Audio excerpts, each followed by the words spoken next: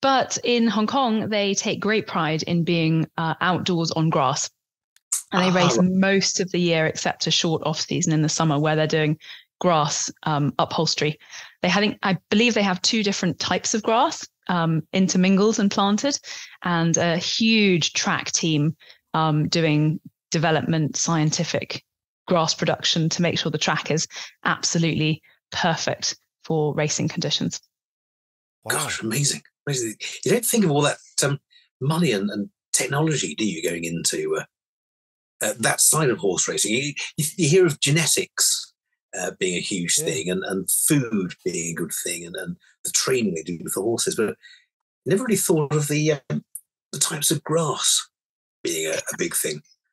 I think when you've got a huge gambling public who need confidence in order to take part and enjoy their sport. You've got obviously the jockeys and the horses uh, racing, but you've also got the conditions. And in the UK, I think we struggle with the weather to maintain um, uniform conditions throughout the year mm. and across different the, the, same tracks and things like that.